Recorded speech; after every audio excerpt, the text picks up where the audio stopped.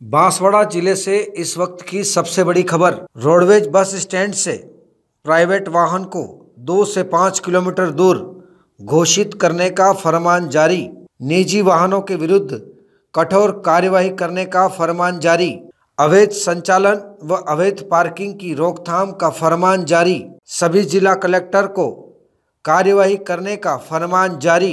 बांसवाड़ा आगार के कर्मचारी कलेक्टर को देंगे आज ज्ञापन, आगार यूनियन के कर्मचारी गणपत सिंह राठौड़ और महेश चतुर्वेदी के सानिध्य में देंगे ज्ञापन।